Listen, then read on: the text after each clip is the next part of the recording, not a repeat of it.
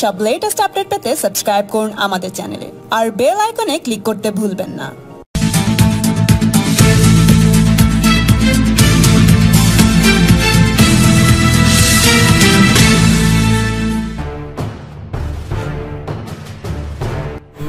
আমাদের তো কোনো ব্যাপার নেই। কিন্তু নিশ্চিতভাবে বাংলা যা পরিস্থিতি চলছে, মমতা ব্যানার্জি এবার গভর্নমেন্ট তিন নম্বরে গেল। ওনার সংখ্যাটা তিন নম্বরেই থাকে বলছি, দাদা ভ্যাকসিন নিয়ে রাজ্যের শাসক দল বলছে বিজেপি রাজনীতি করছে। কি বলবেন? দেখুন, মমতা ব্যানার্জি যখন হেরে যান কোনো ব্যাপারে, তখন ফট করে বলে দেন কি এখানে বিজেপি রাজনীতি করবে আচ্ছা বিজেপি কেন রাজনীতি করবে মোদীজি আমাদের প্রধানমন্ত্রী, করোনা মহামারীর সময় বিনামূল্যে রাশন দিলেন। Mamata Banerjee made in Mamata Banerjee stamp মার, মারবার চেষ্টা করলেন। তাও তার দলের লোকরা ওই রাশনটাও চুরি করে বেঁচে দিল করোনা মহামারীর সময় আমাদের দেশে প্রধানমন্ত্রী মায়েদের দিদিদের ব্যাংক অ্যাকাউন্টে পাঁচশো টাকা করে দিলেন, উজ্জ্বলা গ্যাস দিলেন। সেটা কি রাজনীতি? মমতা ব্যানার্জি, আপনি কি দিলেন এটা একবার বলুন তো। আপনি, এবার জায়গা আপনি নিলেন। যে চাল চুরি করেছেন আপনার দলের লোকেরা। এফসিআই গোডাউন থেকে লরি বেরোচ্ছে। ওখান থেকে বোরাটা চেঞ্জ হয়ে যাচ্ছে ব্যাগটা, আর সাদা ব্যাগে ভর্তি হচ্ছে। এটা আমাদের সাংসদ জগন্নাথ সরকার রেড হ্যান্ড ধরেছিল। রেড হ্যান্ড একটা চালের কারখানাতে এটা ধরা পড়েছিল। মমতা ব্যানার্জি তার নামে এফআইআর করেছে? তার এগেনস্টে কোনো মামলা করেছে? করবেন না। মমতা ব্যানার্জি যারা লোকেরা যারা চুরি করল চাল চুরি তার কারও নামে এফআইআর করেছে? কান ধরে উঠবয়স করেছে ওনার প্রধানরা। উমফানের সময় কান ধরে উঠবস করেছে। তার নামেও এফআইআর হয়ে উনি নাকি দল দলের থেকে সাসপেন্ড লেটার পাঠিয়েছেন কিসের দল? দলটাই তো প্রাইভেট লিমিটেড কোম্পানি যখন ইচ্ছা তাকে রাখব, যখন ইচ্ছা তাকে রাখব না, আবার লোককে দেখানো জন্য সাসপেন্ড করা হয়। আজ পর্যন্ত আমি তো তৃণমূল কংগ্রেস করেছি। না আমার অ্যাপয়েন্টমেন্টের আমার কাছে চিঠি আছে, না আমাকে সরাবার সময় আমাকে চিঠি দিয়েছে। দল কোনো কাগজপত্রই মানে না। শুধু মুখে বললাম, ফরমান জারি হয়ে গেল, মুখে মুখে বলে ওয়াপাস হয়ে গেল। এটাই তো দল। প্রাইভেট লিমিটেড কোম্পানিতে যেটা হয়, আজকে মমতা ব্যানার্জি সরকার এখানে যারা ট্রেড ইউনিয়ন আমরা করি, আপনি ভাবুন তো, একটা ভারতবর্ষের লেবার ল বলে সাসপেন্ড চার্জশিট দিলে আপনাকে পঁচাত্তর পার্সেন্ট তার যে মান্থলি ইনকাম ছিল, তার পঁচাত্তর পার্সেন্ট আপনাকে দিতে হবে। আজকে মমতা ব্যানার্জি সরকারটা তুলে দিয়েছে। এখন বলে গেট বার এই ওয়ার্ডটাই ইউজ হয়ে গেছে। চার্জশিট সাসপেন্ড বলে কোনো শব্দই নেই। এখন গেট বার পুরো বেআইনিভাবে।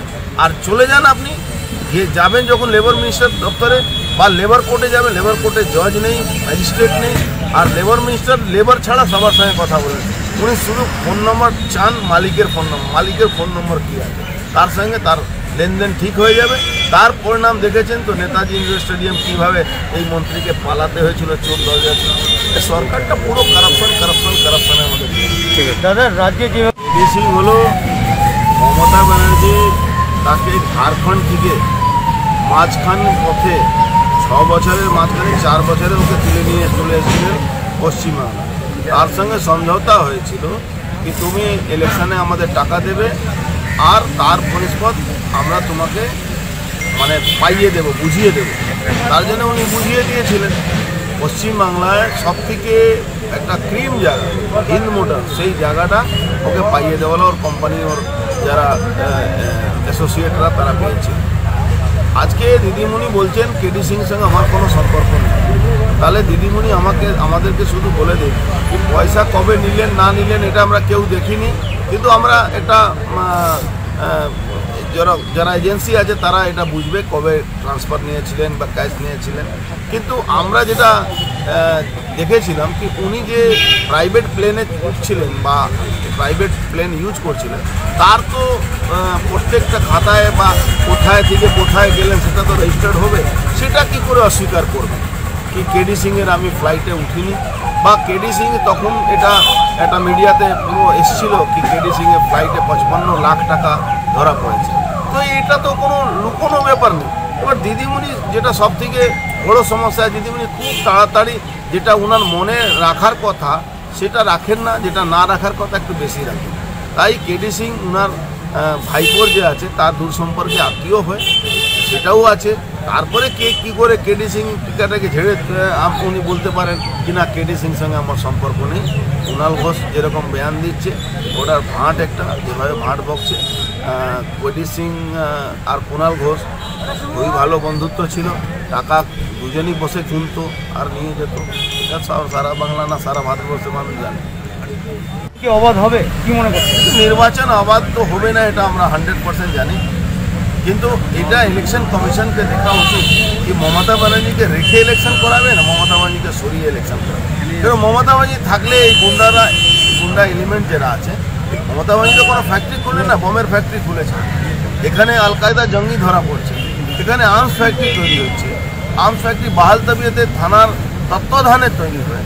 আপনার এই মালদাতে একটা থানা লুট হয়ে গেছিল থানাতে মানে এই সব জায়গাটাকে যেভাবে ক্রিমিনালদেরকে পাল তবিয়েতে ছেড়ে দেওয়া হয়েছে আবার ভোট হওয়ার একদম সম্ভাবনা কম। সেই জন্য ইলেকশন কমিশনকে আমরা বারবার বলছি, রাষ্ট্রপতি মহাম্মান রাষ্ট্রপতিকে আমরা বলেছি, রাজ্যপাল মহোদয়কে বারবার বলেছি, এখানে ইলেকশন আবার শান্তিপূর্ণ করার বিশেষ দরকার আছে, তার জন্য ইলেকশন কমিশনকে এক্সট্রা ভূমিকা নিতে